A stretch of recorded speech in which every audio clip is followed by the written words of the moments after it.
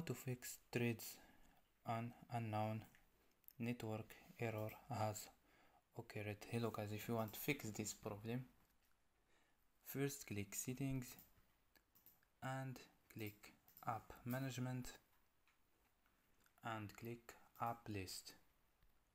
After these steps click your apps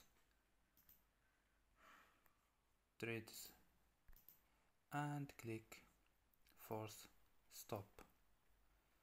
After click storage and click clear data and click clear cache. And after click uh, airplane mode and turn off airplane mode. So don't forget like and subscribe. Bye